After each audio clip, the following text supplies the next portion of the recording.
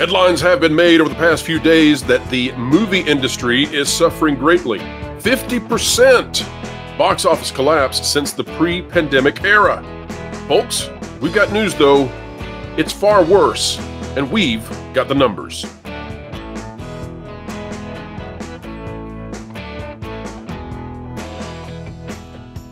Hello, ladies and gentlemen. Welcome back to the Pro Channel where we are dishing out the news, and we are doing so with glee. Although I have to say, for me, I don't enjoy relaying bad news, but bad news is sometimes the only way that you can get things turned around. And the movie industry, well, it needs things moved in the positive direction quickly, rapidly, because theaters are at the edge of collapse. We're not uh, we're not overselling it. You listen in, you'll agree. Culture, welcome back to the channel, sir. The audience loves it when you're here, and you're back for a second day in a row for a reason. Yeah, I'm glad to be here, Pro. Thanks for having me. I'm very excited. This is a subject that I think we we need to we need to focus on more frequently because it really is showing a decline in the industry. Culture, you were here yesterday morning when we were talking about uh, a topic that's similar. Yeah. And behind the scenes, you passed me a note about the level of collapse that the movie theater industry has seen. And we've been talking about for months now that we're worried that theaters are going to go the way of Kmart and Sears. And I really mean that. And I also think that when theaters collapse, that what you lose there is you lose the eventification of movie releases. You also lose the communal aspect of people going to see a movie theater uh, together to go see the movie. Um, I, I think that's profoundly different. It's not better or worse. Maybe it is, maybe it's not, but it's profoundly different than sitting in your den or your basement and watching a movie by yourself. And so there may be something to this that's important societally, and we would like to see theaters not collapse. But collapse they are, and we have to go to Breitbart to find this article, but this is just the beginning, folks. We're going to go somewhere next that makes you, well, it makes us at least uh, shake just a little bit with fear that theaters are truly going under. From Breitbart, though, from John Nolte, year to date box office down near nearly 50% from pre pandemic levels. Now, we have briefly covered this on the channel in the past. We're not going to dwell on it too long because it actually gets worse than this. But it says compared to this date in 2020, the 2024 box office is down nearly 50%. Through the first three days of President's Day weekend, films that have been released widely in theaters have grossed $764.1 million, down 15% from the same period last year, reports the Wall Street Journal. That 764.1 million is just a tad over half the 1.3 billion dollars generated by movie theaters in the US and Canada in the opening weeks of 2020, just before the pandemic froze Hollywood. By the way, if I'm not mistaken, that was at the time that uh, the first Sonic the Hedgehog movie had released. Yeah, yeah. Disney, yeah, Disney also had Onward in in in theaters. Onward did not do as well as Sonic. We'll we'll say mm, that. True. The lackluster start comes despite audiences having more theater options than they have had in years. This year through February 18th, there have been 11 wide release movies, or those showing in at least 2,000 locations nationwide. There were nine wide release titles through the same time frame last year. Now, it could be that uh, dropping 50% of your total box office numbers is devastating to the point of theaters collapsing. But culture, as we said, it's actually far, far worse than that. To figure that out, we have to go to the National Theater uh, Organization to find out uh, exactly how much movie tickets have been costing. And they have a calculation that they've been running, and we can see that in 2019, that's the last year that I consider to be truly pre pandemic, that movie ticket prices were $9.16 according to the organization. However, if we go to a uh, group that doesn't have necessarily a financial interest in showing movie ticket prices being low, EntTelligence, what we find out is that those numbers are actually far, far larger. And this is going to matter for us figuring out how much of the audience has truly left the theater experience. Let's take a look at what it says. It says in 2022, 15% of all domestic tickets sold were for premium screenings, with the average ticket costing $15.92, according to EntTelligence data. A standard ticket costs an average of $11.29. So far in 2023, that premium ticket average is higher, $17.33 each, because so many moviegoers saw Disney's Avatar The Way of Water in premium formats and 3D. This coming out of CNBC. Now, here's what's going on. Here's how we have the disparity between what the National uh, Theater Organization is saying and what EntTelligence data is saying, culture. Mm-hmm. It seems that EntTelligence data is measuring every single ticket sold across the full spectrum of the market, and then they come up with an average. It seems that the uh, theaters, what they're doing is they are taking a look at every category of ticket and then measuring those equally. So a matinee, although it may have a very small number of participants in it, it gets measured equally with opening night premium format. And so that may pull that number down. It's not wrong, just a different way of figuring out that metric.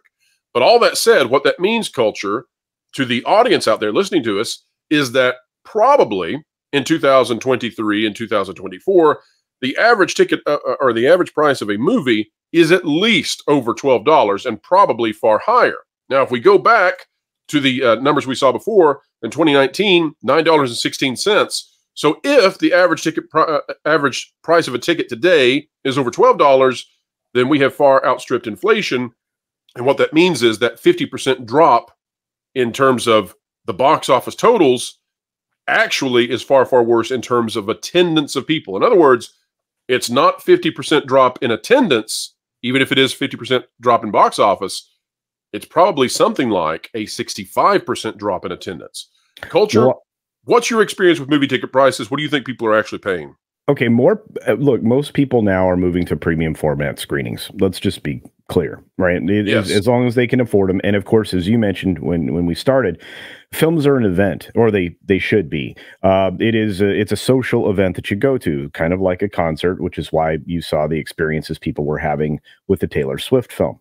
Um, it, it's an experience in that way. It's communal, as you suggest, and it's it's something I would I would hate to lose. But at the same time when people go to see an event, they go to they get the best that they can. And premium large format PLFs, people are going to spend the money to go see that. There mo- more people will see uh, the film Dune 2 in a premium format that if they can, if the screens are available, if they have the opportunity, then they will in just a standard, you know, 150 uh, seat theater, you know, in a small a small room they'd rather see it in that big bigger format. So they'll pay that premium price. So you're going to see the ticket prices averaging uh, going up artificially bumping up what the box office revenues are for a given film. Now through this year we can actually look at the amount of tickets sold and we can do that because there is um, there's a lot of a lot of data out there that would suggest that there's far less than half of the people attending theaters um, than than you would like. Uh, year year to year, I would suggest that even with a smaller audience count in um, in 2020, uh, you uh, up through the dates that that uh, uh, Nolte's talking about in that article, I would say that you're seeing you're seeing some artificially inflated uh, box office revenues that really indicate a, a, a, further drop in in the number of tickets. So, sold. culture, we we've got that data set. We yeah. have the data set, and you've provided it with yeah. the uh, number of tickets sold. We don't yeah. want to pull up that data set simply because there are parts of that data set that we believe have incomplete information. Yes, but the tickets sold do seem to be accurate. And so, let me just give the numbers to the folks out there, and, and then let me get your take exactly on why why yeah. the audience has completely left theaters. And, and, once we give out these numbers, it's hard to it's hard to argue against it. Yeah. In 2019, 1.2 uh, billion tickets were sold across the world. 1.2 billion with a B mm-hmm. tickets sold. In 2023, 849 million. So a loss of something like approximating 400 million tickets lower. That's yeah. that's huge. Yeah. So why do you think that is? Uh, well, it wasn't because uh, there was there there were substantially fewer films released. There are there are that we had a phenomenal rate of flops, a lot of films that nobody was interested in seeing, and those numbers are only trending downward. Um, we're going to see far fewer people go and see far fewer films in this year of 2024. There's just not a lot to to go see. We've talked about this. I think uh, there's only a handful of films people are interested in, and Dune would be one of them. Ghostbusters would be another and of course um, Daredevil. Uh, there, there just isn't a whole slate of films out there that people are interested in seeing. At the same time, you have the incredible underperformance of films that just a few years ago, had they been done properly and advertised properly, would have performed much higher. I I fully expect this year to really put theater chains, smaller chains, in jeopardy. Um, I think even even uh, entities such as Cineworld um, and and all this and the Cinemark and all of that. I think they're going to start to struggle again, and I think you'll see AMC go through another uh, another struggle. Um, I think that theaters are going to have to pivot to something else if they're trying to survive, and that can be events like UFC, things like that. Because again, as you pointed out, these are events. But what what's bothering me and what does put at risk a lot of the local theater chains and you know the onesie twosie mom and pop owners is that they just aren't going to have anything to sell their customers. It's going to cost far too much money for them to maintain staffing to properly run their theater then they could actually turn around any kind of significant profit. And that's that's going to be the place where i'm going to think we're going to feel a loss. So in smaller towns where you don't have a national chain it's possible you could end up with no theater and that would be a tragedy I my biggest, like I said, my biggest concern is that as we dwindle away in entertainment and the offerings that people are willing to watch, and this feeds into a whole other conversation about, you know, things that people just are skipping over because of they're just not interested in them or they're turned off by their messaging. I, I think it's gonna, I, I think it's going to continue to kill off Hollywood, uh, all all all forms of Hollywood. And I released a video on this today. All forms of Hollywood, whether it be film or television of that town proper and its politics and studios, uh, they're in big trouble. Uh, the, the, it's an industry that's that's dying off. There are fewer acting jobs, uh, which means every other job on the board is also at risk. You're seeing 25 to 50 percent less uh, gigs available. That that's devastating to an industry that just a few years ago they were releasing nearly a thousand films out of Hollywood every year uh, eh, nearly that many, and they were producing record numbers of, of of of, revenues. They were producing, you know, uh, twelve billion dollars worth of of revenue annually. They're not going to do that. Looking at uh, looking at the projected numbers we have here, I just want to say too that mm-hmm. back in the uh, uh, early two thousands, up until about oh I don't know two thousand fourteen ish, two thousand fifteen ish Movie tickets, uh, the numbers that were sold could be anywhere from 1.3 to 1.5 billion total, billion total tickets sold across yeah. the world. For 2024, we're actually looking at projected right now based on current trends. 2024 will likely come under 600 million. So when we talk about a devastating collapse in in theater tickets sold, that's what we're talking about, going from 1.5 billion to less than 600 million. That's that's dramatic and that's that's not sustainable for movie theaters because they were built on that prior uh, conception of how many people were going to come see them. The other thing that's going to happen, culture, is that when theaters have so few tickets sold, so you can look at the box office and you can say, well, it's a 50% decline. And then we talk about these numbers and you say, oh, well, the, the, it's actually far worse in attendance. It's just being masked by the rise in movie ticket prices. If, if, if movie ticket prices had stayed the same price, this would be way more catastrophic. But it's actually there's something else going on here, and that is that when you sell less tickets, when there are less butts in seats, yeah. okay, what that means is there's less popcorn buckets, there's less uh, soda being sold, there's less little candies and and and hot dogs and all that stuff. So then you have less people that you can employ in the concession stand. Uh, you have less people who need to be involved in the movie theater uh, business as a whole. And then you have to start increasing those prices dramatically. So you have to escalate the price of a uh, popcorn or a drink because you've got to get that that profit margin back up there with so right. few people attending. And so I think I think that unless something happens, and this is all this is all Hollywood's fault, right? They said, "Oh, we're going to have we've got Star Wars fatigue." Then they said, "Oh, we've got superhero fatigue." Now it's Disney fatigue. The problem here is bad movies. And yeah. Hollywood needs to fix this because if not, then theaters are going to go under. And then when oh. theaters go under, it's not going to be the streaming businesses that win. No. It's going to be video games. Yeah. And I say that because the streaming business isn't going to win by this because the streaming business has essentially a locked in uh, revenue because they're not going to charge people an arm and a leg because they, they can't lose their users. And that's not enough to sustain these big, giant blockbuster films. The big blockbuster films, they only exist because they can get big blockbuster revenues out of the theater. So mm-hmm. that's going to shift all of that entirely uh, if if this goes down. And then kids are going to be playing video games instead. And you know, maybe that's maybe that's the next thing. Maybe we all switch to virtual reality and uh, everybody's using their little Apple goggles or whatever. But Mm. I, for one, would like to see theaters at least survive for a few more years. Let's let's at least have that. Culture, your final thoughts. Well, I, look, I'm with you, and, and anecdotally, just a quick story. I've seen my theater complex, um, the the one that's closest to me, the one, the largest one that's close to me. I've seen that one go from 25 theaters, 25 separate rooms, uh, projections, screens, whatever you want to call them. I've seen that on any given day have nearly half of those dark with nothing showing in them. I don't know, culture. Maybe, maybe, uh, maybe the next year or so, they're going to be renting those out to birthday parties for people to play Fortnite on the ginormous screen. I don't know. Yeah, and and I would like this is an entire industry I don't want to lose. I have friends that are in the industry. I'm sure you do as well. Well, I think it, I think it provides something very positive to society.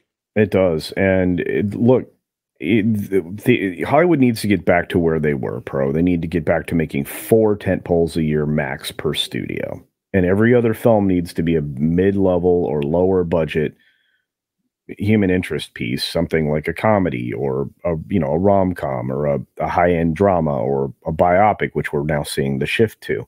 But it needs to be something like that that costs far less that just gets people employed and gets more butts and seats because cyclically you need new new films in theaters every single week to support the tent poles that are going to be there for multiple weeks that's just my observation, and we'll see if they actually get back to that model. But as of right now, there's 25% less content coming to you, and that's going to get worse.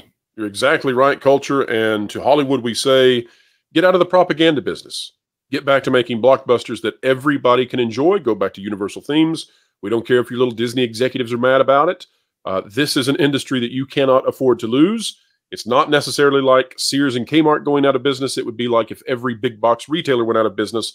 And boy, wouldn't that change the world. And I think the world is going to be a lesser place if the theater experience that we've had for a century or more is utterly gone. And that is a terrible price to pay for all of this wokeism. Personally, I don't think we should sacrifice the theater experience at the altar of DEI, but that's just me. Folks, every day we explain entertainment, keep you ahead of the culture curve, and now we need your vote of confidence. If you enjoyed this video, not necessarily the subject matter, but rather being in, uh, educated on what's happening with theaters, drop a like down below. Share, subscribe, and folks, don't forget to drop a comment down below and let us know your thoughts. Culture Casino is the place to be if you are wanting to find out the latest daily. Culture, tell us about that countdown you do. Oh yeah, the six minute daily is my uh, weekday countdown of news information uh, and uh, well, just silliness. Sometimes I love to do as many stories as I can in that six minutes, but uh, the show's roughly 12 and a half minutes long. So buckle in and get that every single day in the morning. Folks, if you're not yet a member of this channel, make sure that you click that join button. And if you want to try and grab a free membership, those are often gifted during the pro shows that we have on Tuesdays at noon Eastern Stop by and check us out. Also, go check out our sister channel, That Park Place, for even more fantastic content where you will still find myself and culture over there as well. All right, folks, we bid you adieu for the day. We'll see you later. You all have a great time wherever you are and whatever you're doing. Keep learning, keep growing, and as always, keep having fun. Say it ain't so. This just in. Disney lost money on another movie. Why, that can't be. I thought that John Lasseter fella over at Pixar was cranking out the latest hits, and Marvel was unstoppable, and Disney princesses were a thing, and Star Wars was a multi billion dollar money making franchise. I overheard you talking about Disney and wanted to let you know you're really behind the ball. If you were uh, getting great articles from thatparkplace.com and subscribe to WDW Pro's YouTube channel, you'd actually be ahead of the culture curve and have entertainment explained.